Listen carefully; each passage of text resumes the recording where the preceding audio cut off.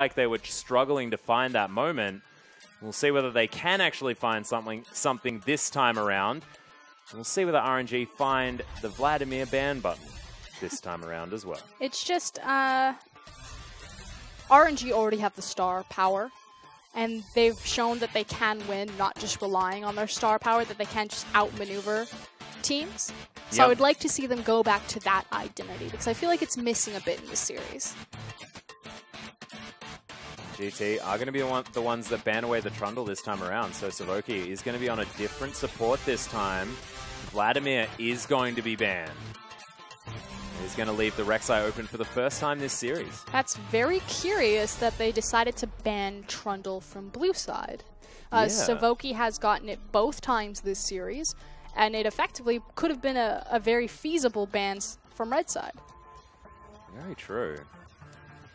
Well, obviously just didn't want to ban anything else. Wanted to give themselves an opportunity to potentially get the Vladimir, as RNG were sticking to their guns about banning Rek'Sai most of the time. RNG now thinking about whether to go back to this Hecarim or not. The Braum once again for Mata. They did win the last game. And so two pieces of that puzzle now already locked away. And where uh, RNG did do a good job is kind of understanding where their win conditions were around Hecarim in the early game. Yep. Again, constantly using that ultimate bottom, um, trying to sync it with the teleport timers. Just Game Talents had really good responses to minimize the execution there from RNG. So uh, do give them props from that. They definitely had the right idea, just were un- unable to make it click. And now Game Talents with some opportunities for themselves here. Ezreal being looked at. Of course, Karma now an option as Savoki doesn't have his uh, Trundle available anymore. And Ezreal being looked at as a pick away from Uzi. As well as into PentaQ's playstyle. Speaking of denial picks, Wow. Well, that's going to be locked in, so it's going to be Azir and Ezreal here for Game Talents.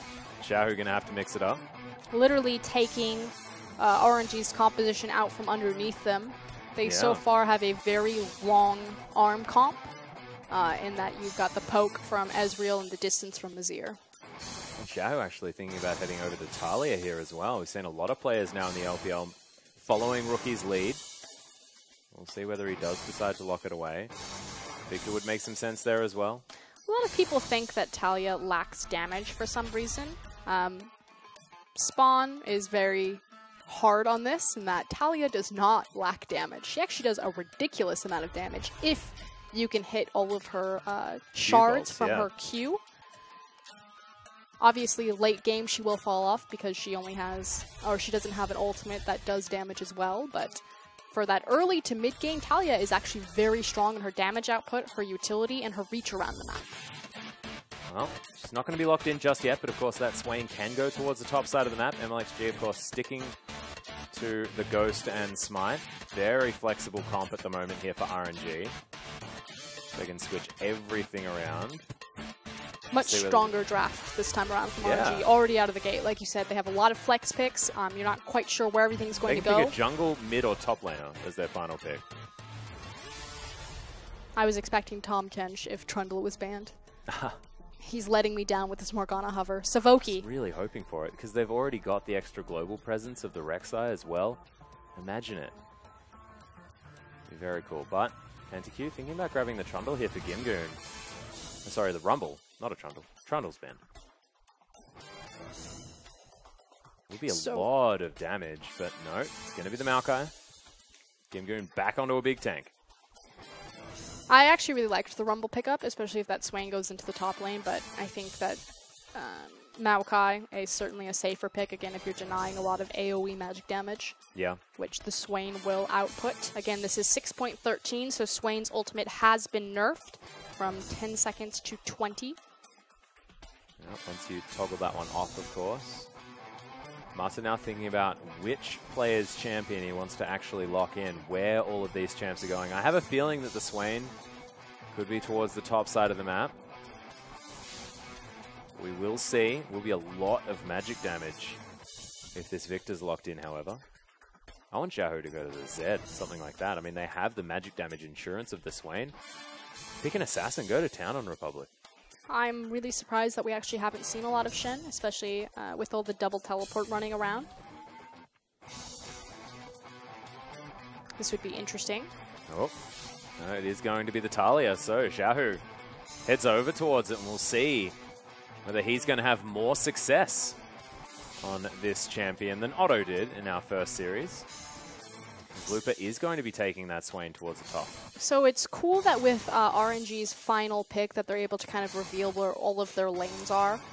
Yeah. Um, especially because they force Game Talent's hand into taking the Maokai as opposed to the Rumble. I actually really like Rumble into Swain just because Rumble's one of the few champions that will have uh, even wave pushing, if not more wave pushing ability than Swain, and so he won't be bullied underneath the tower where Swain is really dominant just because he'll be able to keep that creep wave either even or shoving Swain in.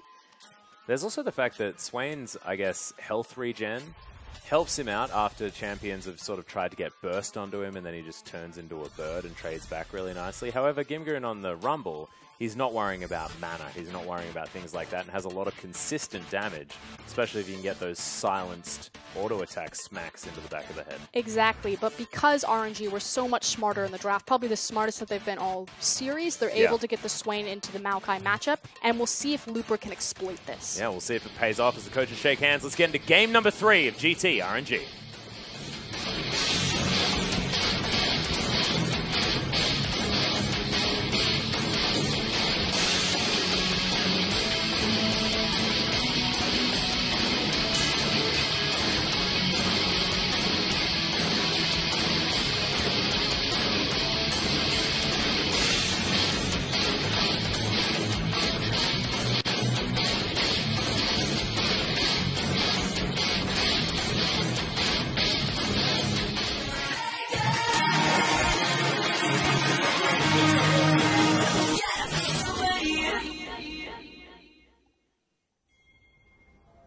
Thank you very much, PentaQ. And here we are for game number three between RNG and GT. GT once again on our blue side of the map. And you can see Republic right there has picked away the golden chicken from Xiaohu. And Xiaohu actually going to mix things up and grab the Taliyah. He has played a lot of different champions so far in the LPL. However, this is the first time he's really deviated away from it, especially in this series.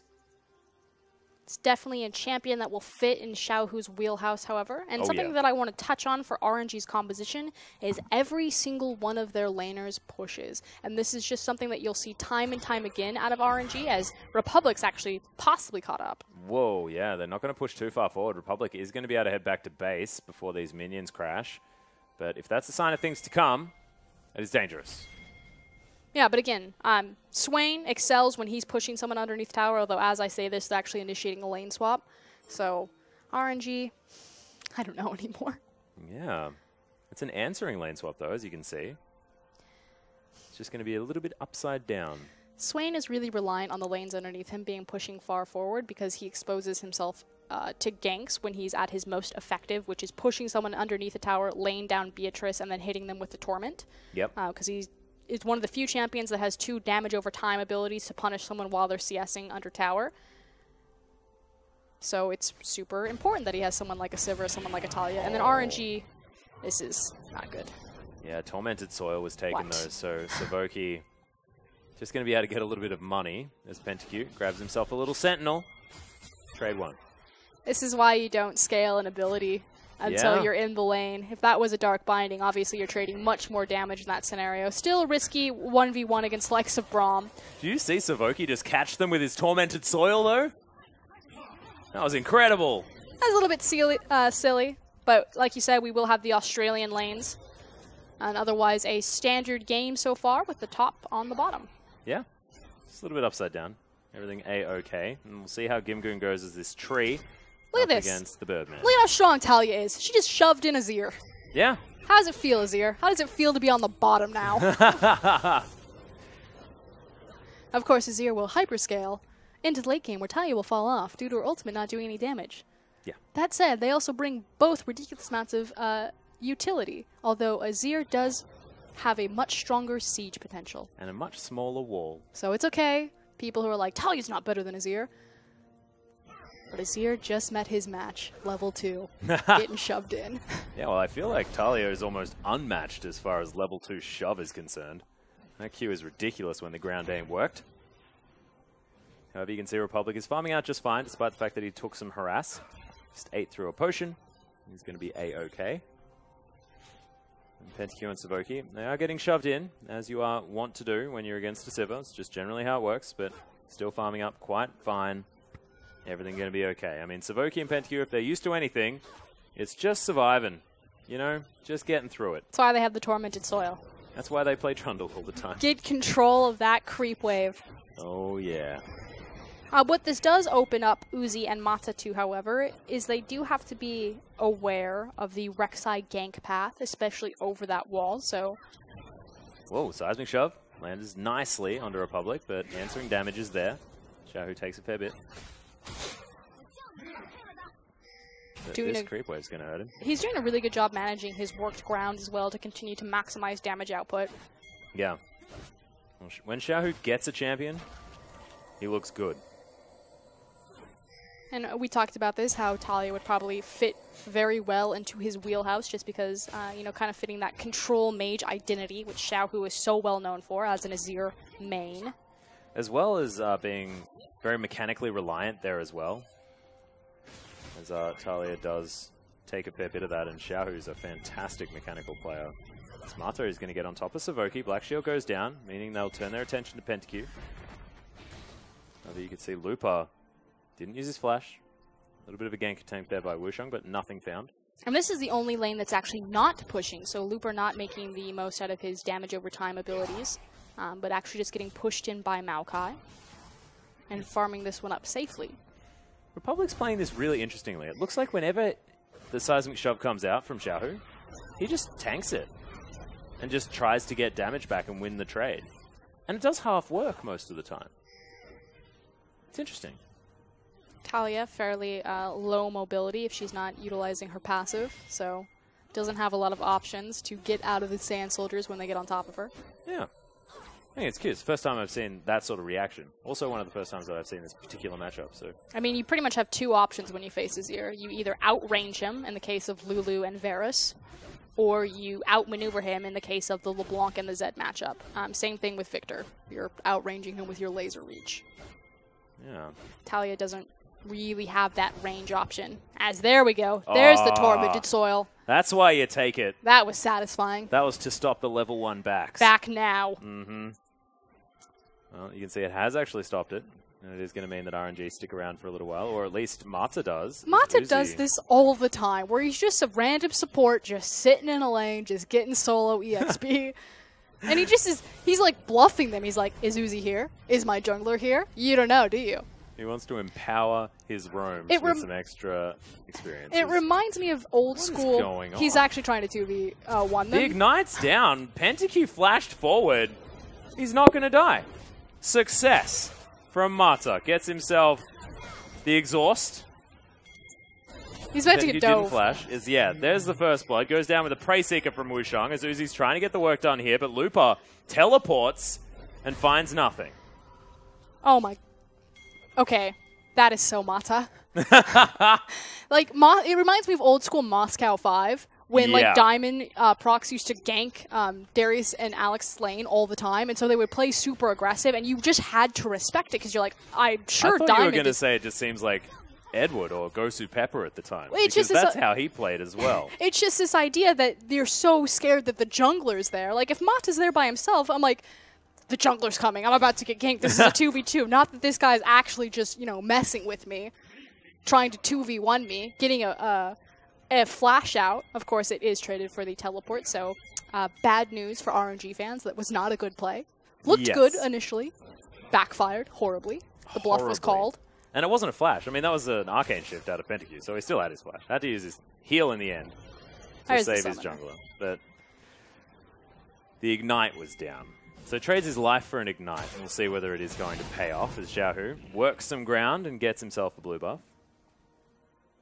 But this has just been a, a little bit of a silly series in terms of It individual has.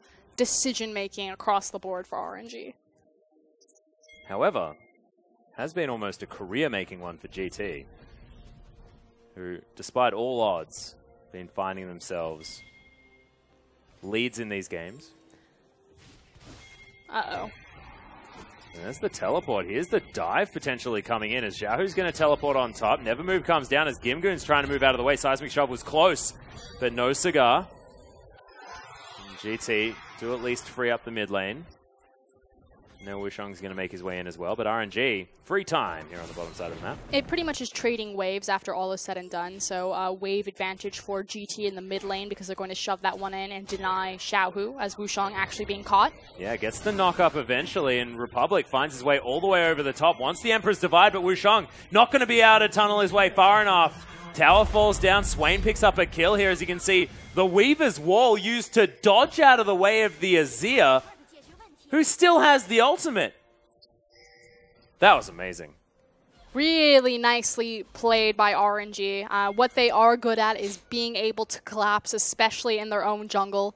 It's pretty much the line in the sand that you do not cross against this team, and they finally show up back to expectations.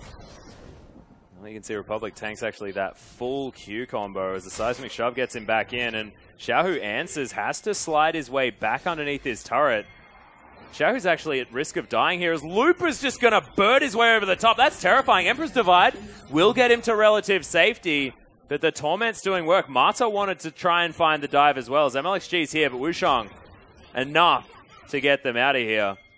However, when you're talking about minion waves, things are looking good for RNG, although the gold is entirely even. Yeah, after all is said and done, Game Talents do manage to trade the pressure point on the mid lane. Uh, no one died, so good Emperor's Divide out of Republic to save his life right there by getting that outer top tower. That said, I did not hit the inner tower, Mm -hmm. although Uzi is pushing that one back. And Uzi's actually been the benefit, the benefactor of all of this as well. 93 CS to 71 because he's just been able to pick up all of this sidewave farm, and now Gimgoon and PentaQ actually sharing here on the bottom side as they want to be able to shove through and grab this turret if they can. Savoki already playing, I guess, uh, I, I don't know, provisionary and what's important is that uh, Republic would actually be in a very similar scenario that Uzi is in terms of his CS lead, but because RNG uh, threw so many members at him and diving that tower, they actually evened up the difference between the mid laners. Yeah. So, uh, all in all, RNG do come out on top, and we're now going to try and trade a bottom tower, and Uzi is actually migrated towards the mid lane. Well, there's a twisted advance as Loop has been possibly caught out. Wushong's making his way in as PentaQ gets the Arcane Shift across. Vengeful Maelstrom does pop, and Gimgoon doesn't have a lot of mana left over. And in goes MLXG's got the ultimate if needed, as now they're underneath RNG's turret. Looper will fall down, but is anyone going to die to this turret? Not just yet, as GT are trying to escape. MLXG over the top, Savoki is going to be the casualty here, as there's the Weaver's Wall one more time, and Xiaohu going one versus three. Gimgoon's Oh. backing. Oh my god, he survived. The nerves of steel right there. Oh my goodness. Ah, so game talents, they minimize their loss right there. Great collapse again from RNG. But again, this is a decision where instead of choosing to trade one for one on the towers, because Uzi was initially pushing the top lane, they choose to walk from the top tower, collapse all the way to the bottom, and tr- try to take the fight. And that's pretty much the perfect example of RNG's mentality this entire series. Yeah. Just fight. Just the time. fight. Kill him all the time. Mm-hmm. There's a cannon creep. Don't let him get it. We gotta fight. It's PentaQ. Arcane shift in to clear up this farm. He's going to do so quite nicely. Uzi continues to stay in the lead, but full vision available here of the Sivir. Doesn't quite have Essence Reaver completed just yet. And if we're talking about power levels, PentaQ, regardless, will still hit his first. I don't know, uh, because he's going for Muramana as opposed to looking for his Sheen, uh, Uzi is definitely much stronger right now. Oh, right now, yes. But I'm thinking like two item power spike versus three. Yeah, but I think Uzi's going to hit his power point before, just because of uh, how PentaQ is itemized and likewise the CS discrepancy. But yes, normally, in the race to three items versus two, Ezreal does typically win that. Well, I have a feeling Uzi will beat him to two. Just because this guy is very far ahead in the. 30 But- CS in the lead. Again, is the difference between Uzi's Ezreal and PentaQ's Ezreal. PentaQ picked up the pickaxe, Uzi gets the Sheen. He wants the immediate power right then there, wants a punch in the face. hmm PentaQ's like, oh god, please let me farm. Yeah, exactly. Well, Wishong is it down here towards the bottom side of the map. RNG once again invading through. Savoki throws out a binding but doesn't find anyone. This red buff going to be well and truly contested. Wushang will see is going to be able to lock that one down for himself. Tags MLXG here as well as the Black Cleaver comes in. Republic now going to be collapsed on as there's the Emperor's Divide. Gets knocked up. Seismic Shove's going to get him back in, but a really nice maneuver with the E to get himself out of there. Another Dark Binding going to go wide as the teleport's coming in from Looper. Cancels it as he wants to stay towards the top side. He was cancelled RNG. by Gimgoon, actually, but who Oh, may have wow. overextended and traded his life for this. Nope. Gets out. Not quite enough mana as MLXG dodges out of the way of another another binding. Just takes away the jungle camp. Now Republic still very low under this turret. But RNG are so keen to fight because Uzi is that much stronger than Ezreal right now, which is why they're consistently playing around that lower quadrant of the map, not only for the red buff timer, but the fact that my Sivir is stronger than your Ezreal right now. If this comes to a 4v5 or a 4v4 or a 5v5, we can beat you. Yeah, damn right. Uzi now Essence Reaver in hand. Building towards those Berserker's Greaves. We'll see what he decides to go to as far as the attack speed item of choice is often the one thing that does change up as far as the Sivir build is concerned, whether you go for the Phantom Dance or the Static Shiv, something like that. And whether he goes first towards Infinity Edge, whether he's feeling confident, whether it's going to be something like a Last Whisper item, or even a Hex Drinker in Uzi's case, who does really like that item. Likes to have that defense, especially when he flashes forward. Mm-hmm. Plays on the front line. Maximizing damage output. Damn right. PentaQ almost dying to the Krugs, but we'll be able to go back now, see whether he has that Manamune completed, whether he is going to complete that Sheen at the same time or something like that, whether he has quite that money in the back pocket. He's been denied a lot of farm. This CS discrepancy between Uzi and PentaQ just opening up bigger and bigger. Yeah. 45 CS. And again, in terms of kills, that's about three to four in terms of your goal value. Just ridiculous. And You can see Republic continuing to try and hold on here as Shahu moves out of the way of the soldiers.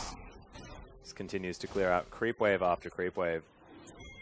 And RNG grab Dragon number one here. It is almost down to half health. We'll see whether GT can move over. This is Doesn't a look like it. much cleaner game from RNG. Um, they've done much better in preparing their vision, acting around the vision wow. that they've invested their gold into. Although, as I say, this Looper getting caught out, but he's swaying. There's the trade. Nevermove is going to land on both of them here as he's just so durable. We'll see whether he can actually make it to this tunnel as Weaver's wall's actually been thrown out. Xiaohu is going to make his way up here. Nice twisted advance comes out from Gimgoon, but he's going to leave Wushang to fend for himself. Tunnels into the base. Oh, he's gonna get out! Oh my god, what a beast. what a well legend! played. And look at this, just takes the dolphin tunnels out. Very cute uh, outplay from Wushang right there. And they both survive. Uh, teleport bottom though, Xiaohu. Just looking to pick up some free farm as his bot lane moves into the mid lane. So not allocating and splitting uh, creep resources or lane resources. And also, I think he's hunting PentaQ. Yeah, also denying PentaQ taking down that turret as well, which they would have really liked getting some extra global gold, as Republic does have his Nash's Tooth now, has claimed himself the CS lead now that Xiaohu's just launching himself around the rift. Savoki hasn't got too much done here on this Morgana so far, needs to start hitting some of these bindings. But of course that Black Shield will be very important.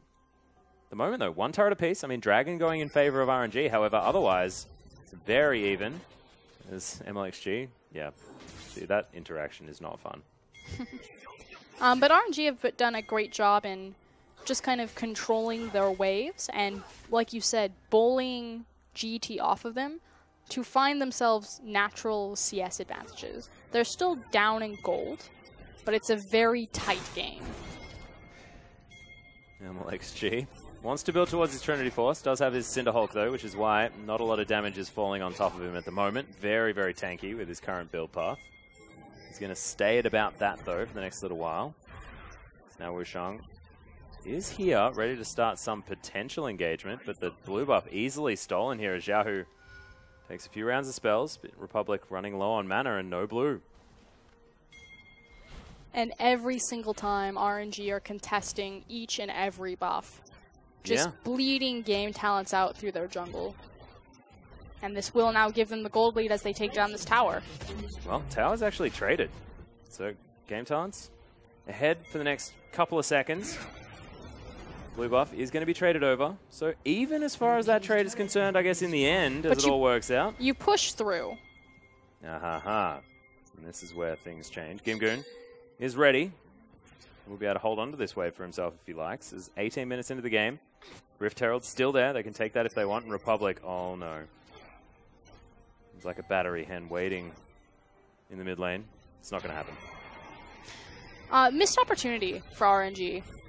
See if they capitalize on it. No, they run bottom to fight. This is so bizarre. Yeah, well, there's the Weaver's Wall once again. The flash comes out of Savoki as Wushang's looking for the tunnel opportunity. Actually wants Xiaohu here, as he's also just trying to make sure that no one can get anything done. So Savoki's going to fall, and Wushang has bought a fair bit of time, but I'm not entirely sure what for at this stage as Looper locks him down. Okay, so it works out for RNG because they pick up the kills. But here's the thing. RNG have a window where they know that game talents are on the bottom side of the map because they see that their blue timer has been picked up. And Looper very clearly has vision and he denies and stops their backs. So you have the call where we can either play to the top side or not, knowing that we have a numbers discrepancy, either the mid lane or the top lane, or even falling back to the Rift Herald if you don't feel confident enough to uh, impact the tower at all or, or bring the tower into a factor. But instead, RNG continuously, let's just collapse bottom. Let's just take the kills. It doesn't translate into any sort of objective. They don't immediately, you know, swing bottom or swing mid and take a tower. They're just killing people repeatedly. They also lost out on gold there too. It just, it's so strange. Like, you, you very clearly had the advantage to play the top side of the map. Yeah. Super odd. Super odd. However, Game Talent's probably still going to be okay with this. Two item power spike now being hit by PentaQ. Republic, well and truly ahead in the farm. Was up by about 30 CS before Xiaohu shoved out this top wave. That's denied Looper a little bit, and Gimgoon feeling pretty comfortable as far as where he is. That Spirit Visage already there, as well as that Bami's Cinder allow, allowing him to control these creep waves a little bit better. Not to mention Vengeful Maelstrom already there. Can clear out a creep wave quite nicely. And Wushang, this guy's farming out the jungle as well as he'd like. Looper taking a lot of damage here from PentaQ. Has to respect the cues. So True Shot Barrage flies through as well. Wushang looking for the knockup. Gets it there as PentaQ just launches himself forward. And Savoki hits a binding. And PentaQ may actually die to Beatrice. Nope, not going to this time. Manages to survive the bird, picks up a pick. But mm. meanwhile, Yeah, Gimgoon actually getting aggressed on towards the top side of the map. However, RNG have found GT here, and Republic gets destroyed. The teleport coming in from Gimgoon. As you can see, PentaQ off to the side. He's very, very low. Wushang has got the aggression. As MLXG's going to get caught, PentaQ uses the E for damage at such low health. Nice spell shield from Uzi. As Mata gets tagged as well. here comes Taliyah. Yeah, Weaver's Wall gets him over to the side as Savoki's the target. Fantastic shove. And Savoki's going to get locked down. Gimgoon grabs the kill in the back line, though, as PentaQ takes down Uzi. Teleport comes in from Looper. And PentaQ, yeah, Beatrice is going to be your death this time around. But such a messy fight. And in the end, I think it went even. And it's just pocket gold. Again, uh, these fights don't really mean anything in terms of advantage around, say, the upcoming dragon or a, a tower. Right now, RNG just kind of going back, resetting their map. It will be an Infernal Drake in the next six seconds, so both teams do need to rush to this spot and start setting up their vision. But that was just, that was for funsies. Yeah, But- it looked fun. This also means that a ton of key ultimates are also down, coming into a potential 5v5. So we may see a scenario where teams just kind of silently pressure each themselves off of vision, but may wait to pull the trigger. There are a lot of really low cooldown ultimates here as well. Republics is already back off. We do have the Soul Shackles almost there for Savoki as well. It's pretty much RNG that are being punished. You have uh, Onslaught of Shadows down, Taliyah ult down, and Mata's ult down. So game talents, if they want to pull the trigger, now is the time. yeah, well, haven't really counted that one out just yet. Is Gimgoon going to shove up this mid wave?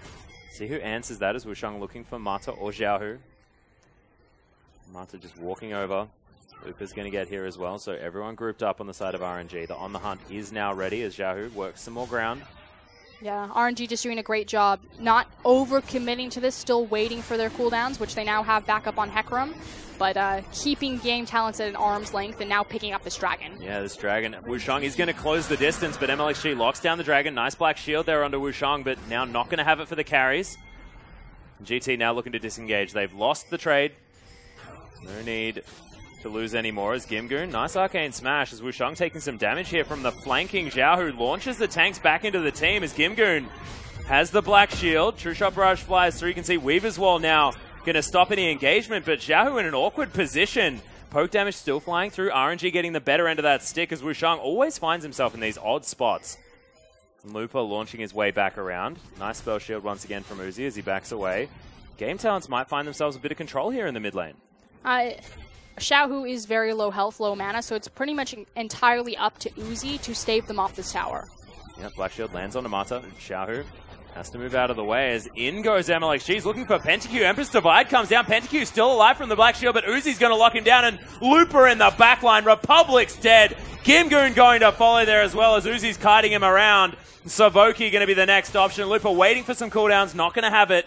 And now it's RNG's turn to push down this wave, and MLXG with that engage. That was stunning. And RNG finally get a team fight in a necessary spot that actually translates and means something for map control. Yes, it was a great setup from MLXG, but I need to see more of this from RNG. I need to see meaningful 5v5s. Yeah.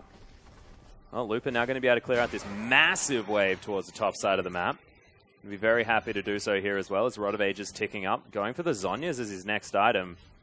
Not respecting the multiple sources of magic damage. Wanting to make sure that he can stave off Wushang and Pentakill.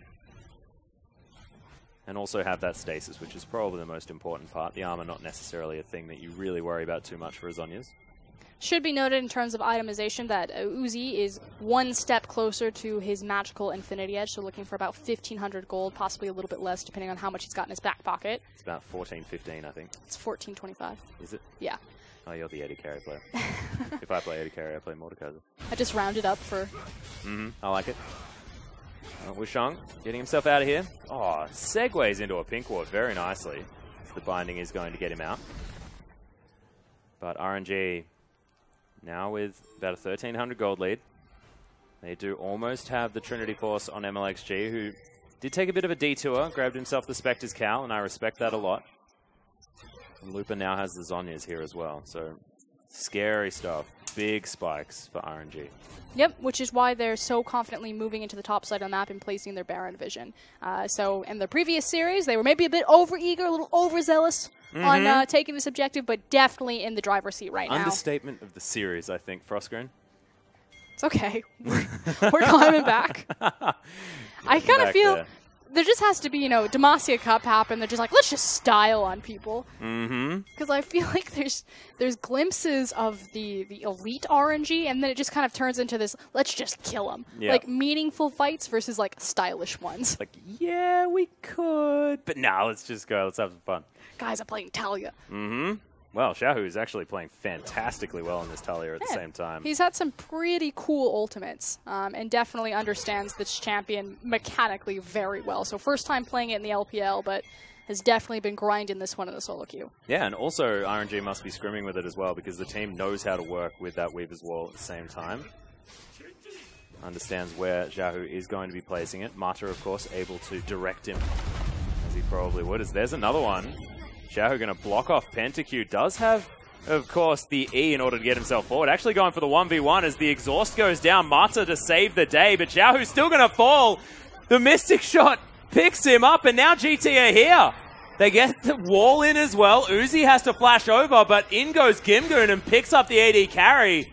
Swain takes down the mid laner. So now it's just tanks, supports, and junglers going at each other as Looper's the only real source of damage. MLXG, I guess, is here with his almost Trinity Force, but RNG theoretically win the fight. Caster Curse strikes again. Last series, we're talking about game talents, how they can feasibly 2-0 RNG. They just get smashed in a last team fight. We're talking up Xiao, who's really good pressing his buttons. Speaking of pressing buttons.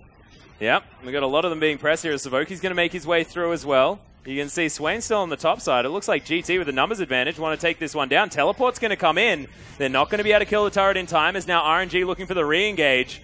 This is the little team fight that could here with all of these high damage champions missing, but Xiaohu's going to make his way around. Will he be able to land the bolts onto Savoki? No, he's not. The twisted advance gets in. No seismic shove. Never move comes down. McGibbon says, I never wanted to anyway. And everyone just backs away. We're fine. It's Chill fine. Out. Dragon comes up in a minute. they can't turn on Baron because we've staggered our backs appropriately. Okay.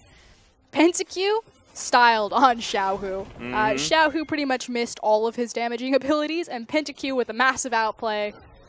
Had to give him props. I know it happened like 20 minutes ago because we've been fighting every single opportunity. Yes. Good job, PentaQ. Republic and PentaQ really stepping up this series. Most certainly are. Republic, unfortunately, got relatively deleted in that last fight, but it's difficult. It's fine, he had a Vladimir game. Yeah, he did. And he looked good in that one. Did well on the Viktor. He certainly did.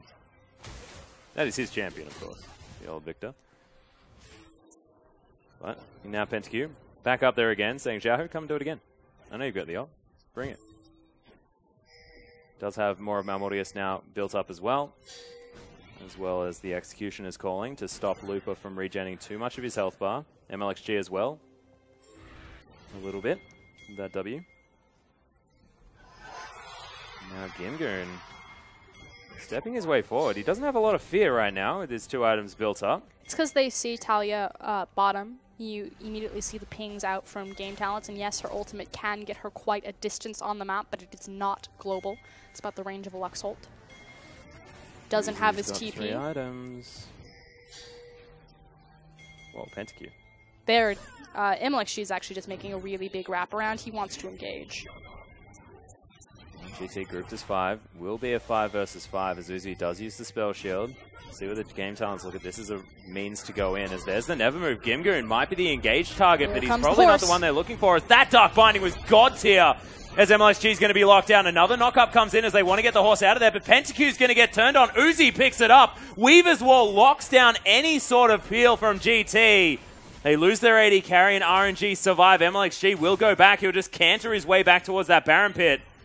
Republic does at least manage to clear out his mini wave, but I'm not sure whether they're going to be able to deny RNG any control of this area. And it looks so good for game talents. Like you said, Savoki hitting a game changing binding right there by stopping the horse from getting into that backline. Uh, but unfortunately, Uzi so confident stepping forward, laying down that damage, and then a really nice Weaver's Wall to make sure that it's an isolated 2v4.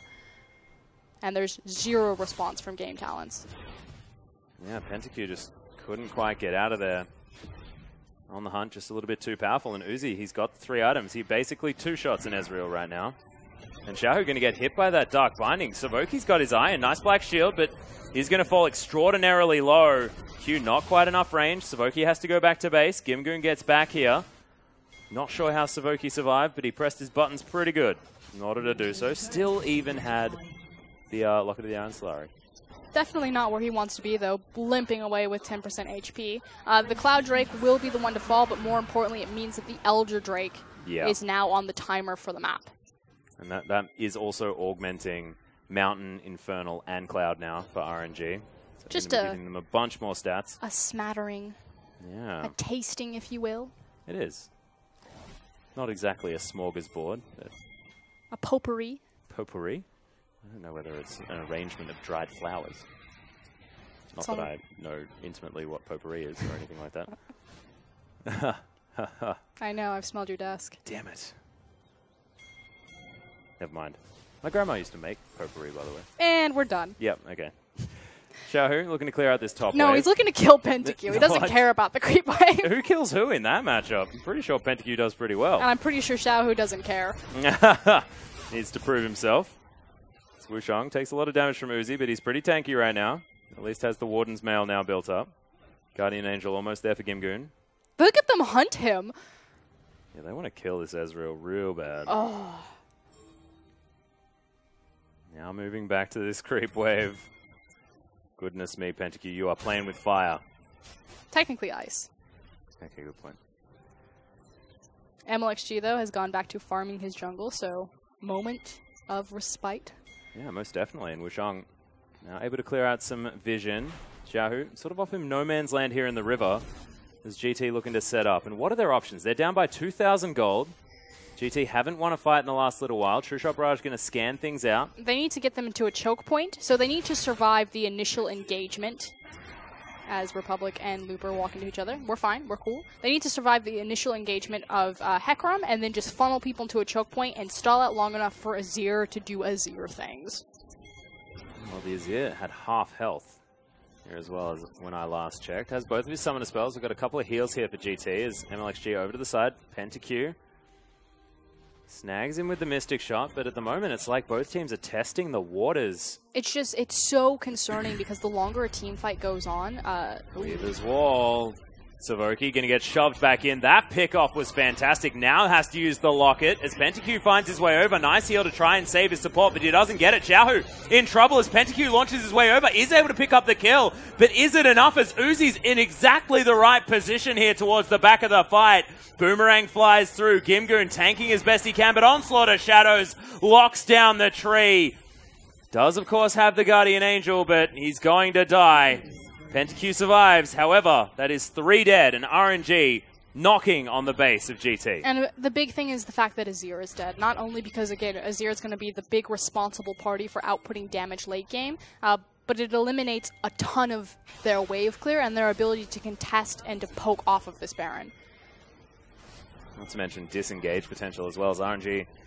See that scrying orb. Now going to go in. They have a couple more orbs available. As you can see, Preyseeker flies through. This Baron taking a lot of damage as Mata is so low. On the Hunt's Pop. PentaQ's going to die. Uzi crits his face off. As now Wushang wants to try and get this desperation steal. The teleport coming in as Wushang now just wants to get away. Needs to try and save his own life. The Baron's doing a bunch of work to multiple players on RNG as Savoki makes his way over the top. Dark Binding lands onto Xiaohu, but he's not in range of the Baron, which is a thank goodness situation here for RNG, and they don't get the Baron. And it's because of a greedy play from Looper, in all honesty. Uh, Looper flashing over the wall and chasing, as opposed to staying on the Baron and tanking it up. So RNG were trying to do their best to juggle the aggro while Yeah. chasing down Wushang, as opposed to just sticking to the Baron. So game talents, they weather the storm. Now looking at a shot of this Elder Drake in the next two minutes. Yeah, and we do have Xiaohu picking up his blue buff. We've got almost six items here for Uzi, who almost has Maw of Malmortius as the final one. That is Mortal Reminder completed. This guy is huge. The Sivir is online and ready to boomerang people's faces off. See whether Uzi can get him to himself into the right position like he did in the last fight in order to do so. MLXG has his GA. Gimgoon looking to try and stop Looper, who looks relatively unstoppable. He's got the Spirit Visage, more than happy, just wants to get the Void Staff, so he's doing notable damage to these GT members. Teleport now coming in, RNG committing to the Baron one more time. And it's because they see Gimgoon on the bottom side of the map trying to match up across Looper. There's no reason he should be there. It's not like he's stopping a wave. This is now a 4v5. Yeah, without the big tank there as well as the wall flies through. They've caught out the jungler as Wushang in trouble. Xiaohu picks up the kill. The first pick of the fight is already there as MLXG taking a lot of damage. Has the onslaught of shadows. And GT have to back away. Gimgoon finally gets in here, but it's still a 4v5. We're going to call that a more questionable Taliyah wall. It did manage to pick off one, but it also saved a big portion of game talents. Gimgoon now back in position. They could look to try to stop this. We'll see whether they can do so as RNG starting off this Baron one more time. It's gone down extraordinarily low. There's the slow field as GT get in there. Republic's able to take down Mata. As you can see, the Baron falls in favor of MLXG and launches himself in. PentaQ immediately taken out of the fight as Gimgoon on top of Xiaohu. He will manage to pick up that kill, but Uzi... Republic's doing work. He cannot be tanked. Yeah, Republic able to do something as MLXG's going to fall to his GA. But that's not enough, and Uzi just shoots him in the face. There's the spell shield for the Dark Binding, and he grabs a whole bunch of lifesteal and heads back towards Savoki, who's like, well, I'm out of here. If I'm going to die, I'm going to do it on my own terms. Republic tried so hard that team fight and almost made it count, but unfortunately Maokai went one way, Morgana went the other way, and Azir was left with Uzi just running at his face after the Emperor's Divide had been set up. Yeah, Uzi once again doing a whole bunch of work. Yeah, you can see exactly right. Over 8k damage there for Republic, who almost saved it, like you said. However, it's not enough. Wushang's going to fall down here in the jungle as well as MLXG picks that one up. And Gimgoon now trying to get some work done. Uzi just kiting him around. That Warlord's Bloodlust doing a whole bunch of work. As well as that Phantom Dancer helping out. And Uzi, when he gets this late game stage, he just knows that he can't be bested in mechanical outplay.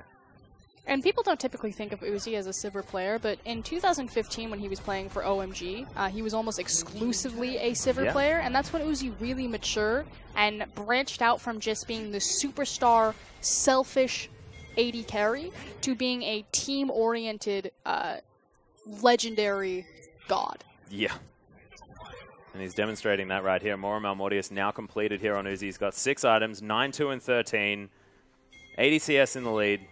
What more could you want out of your AD carries? RNG able to move over to a potential Elder Drake, or just use this Baron buff to push down and break down these turrets. As, as well coming in one more time as Republic caught out of position completely. That's just a party. Yeah. And uh, he is definitely crying. He's definitely invited, though. This is good news. As Savoki has his Dark Binding dodged in an awkward way there by Looper.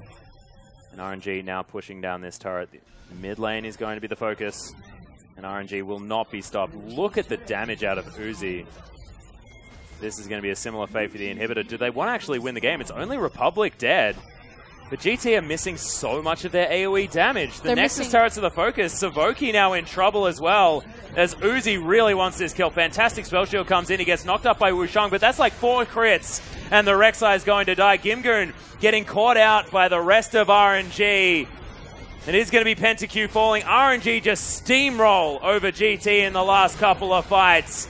And this is the team we were expecting to show up. It took them a while to get there, but they got there in the end, and that's what counts. We had a bit of a victory lap in game two. You know, we had to stretch, Yep. but we got there. We came online. That is the 5v5 that we expect from a team of RNG's caliber. They set up their fights around the Baron Pit really well, executed on it well, and big shout outs to Xiaohu on that Taliyah, making Oh, yeah. great picks with the Weaver's Wall. And that pick at the end of the game there on the Republic was that sealed the fate of the game. Uh, it was really beautiful to see. The man was hitting a whole bunch of his abilities. Some of his seismic shoves, the directions that he chose there as well, were actually beautiful to see. And we're seeing the versatility of this champion as well coming out of the mid lane. Rookie did demonstrate a whole lot of it. The man is ridiculous on basically any champion he picks up. But very impressive out of Xiaohu for that one. See, players are going to shake hands, and hats off to Game Talents in that series because they were contenders. Uh, I mean, game two, where they could have walked away with the series, effectively came down to a 50 50 Yeah, uh, team fight because it came down to a single team fight that ended the game. So definitely, Game Talents did very well for the series. They should walk away with this one for their heads held high. Um, but props to RNG, you know, finally deciding to show up at the very end of that series. Looked really good in a couple of those team fights. And again, uh, huge applause for Xiaohu on the Taliyah. yeah. And I mean, I have to say that Uzi also played phenomenally well on the Sivir. Got himself towards that late game stage. Was always in that in those side lanes, picking up all the farm. It's how he likes to play Sivir out. Understands that you know mid game, early game damage, not necessarily something you're relying on. Does take opportunistic kills like that, but in the late game, this guy was moving forward, fighting tanks 1v1, happy to do so because he just knows what he's capable of at that stage of the game. Yeah, I'm uh, I'm not too big of a fan right now of MLXG's Hecarim. I think it needs a little bit of work, but that's something that we kind of expect from MLXG. You know, a lot of people uh, really respect and fear his Nidalee right now, but in the very beginning of MLXG trying to pick up that champion, it was actually just kind of a train wreck, just like a disaster of you know spears flying everywhere, nothing's connecting. But obviously having the uh, perseverance to continue to grind on that champion to turn it into a threat for him. So I have no doubt that a champion like Hecarim, MLXG will get to master, uh, just not this series. Yeah, certainly not. But we are going to have a look at what happened today as, of course, WE were able to take down Saint. 2-0 victory. Of course, we made it to that 35-minute mark, and they were able to take that one down. Saint still looking for that win. As you can see, Game Talents taking game number one in the next series against RNG, the one that we just saw concluded. And RNG were able to follow up with two victories, but not as solid as we were expecting out of the top team in Group B. Yeah, uh, that said, big shout out to Game Talents. They definitely put up quite a fight, so it wasn't like RNG were just facing pushovers and failed to execute. Exactly right. And game talents, because we're in the cross conference, not going to fall below Snake too far just yet. See how Snake go in their next couple of matches. See whether they can pull out in front, because this would have been a huge deal for game talents if they had have won this series. Just because that would have been that one extra win, solid, solidified themselves in that second spot right underneath EDG. So we have a look at Group B now. Royal never give up. Eight and one. So of course, still not even with EDG, but even on victories at least still holding that top spot. Uh, yeah, and it's just now a very close race between that middle of the pack. Again, the coveted spot is fourth place that you want to make sure that you can walk into the LPL playoffs and have a shot at that title. Yeah, that's exactly right. And you, uh, you did just see the fact that WE now actually ahead of IMA as well. So closing out that particular tie is IG versus IMA is going to be our first matchup tomorrow, followed by OMG versus Newbee And of course, that is going to be happening same time, same place, just in 24 hours. Right here. That's exactly right. Now, just, what, what, what are we doing? Uh, we're going to talk about now OMG versus Newbee Okay. and IMA because again we've got a lot of B teams showing up tomorrow and kind of middle of the pack teams. So we talked about how the middle of the pack for B is just super stacked, very Yeah. tight race, whereas the bottom teams of Group A are definitely underperforming. This is people like Newbee, like Invictus Gaming, like Saint. Saint looked better today, so we're gonna see if Newbee can kind of ride their uh, their current upswing and continue to perform and turn back into that you know old Gu roster that we expect from them. Yeah, and it's actually really interesting looking at tomorrow's matchups as well. IG versus IMA, if we had looked at it at the beginning of the season, we would have thought IG looking favoured. But at the moment, as far as all of the teams playing tomorrow, IMA looking like the strongest. Uh, very clear cut win conditions, and I think that's the big difference. Yes, uh, Invictus Gaming have clear cut win conditions in rookie, Yep. But uh, I may just have more options there. As we take a look at the MVP of last series, and it's going to be Uzi. Big surprise. Yeah, back-to-back MVPs for the Sivir player and Ezreal player. I actually kind of disagree, though. I feel like Xiaohu on the Taliyah was a bit more clutch in terms of uh, game-changing plays, although Uzi was just a workhorse in that back line. Damn right he was. And I have a feeling that if Xiaohu was able to take down PentaQ with that wall, he would have got the MVP. But unfortunately, Because he to. didn't get the outplay, they're like, take it away. Yeah. He doesn't get the MVP.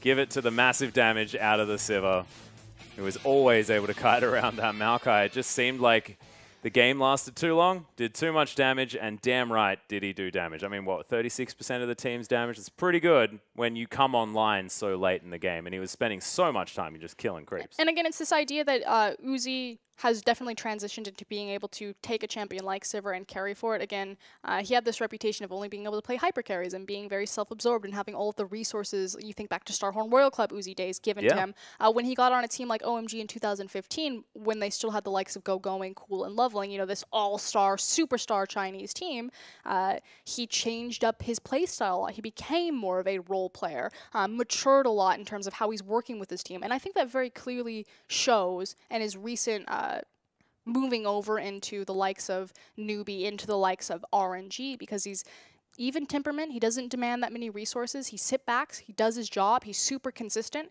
and you know that you can always count on Uzi late game without you know sacrificing everything to the Uzi go- Uzi god. Yeah, and this is the weird thing as well, because we're not used to talking about Uzi as being that stable member of the team, but RNG honestly looked all over the shop in everywhere other than Uzi. It was Mata doing crazy things, launching himself around the map in game number one, which honestly led them to starting too many fights they couldn't actually win I against think, GT. In all honesty, it was kind of Mata and MLXG just being a little bit over eager because Hot-headed, I'd say, yeah. that's uh, probably a pretty good word. Uh, and those are typically like the that's the leading members for RNG. You know, they isolate matchups for MLXG to find advantages, and then how he snowballs lanes ahead. And so with uh, you know Mata being a bit over eager, with MLXG, uh, you know, flying in on the Hecarim everywhere, it was just a bit scattered, but they got it together in the end. They most did. But ladies and gentlemen, that is going to bring us to the end of day number one. Of course, three more days of LPL action for week six coming up. On behalf of myself, Roscoe, and our whole production team, thank you so much for watching. We'll see you tomorrow.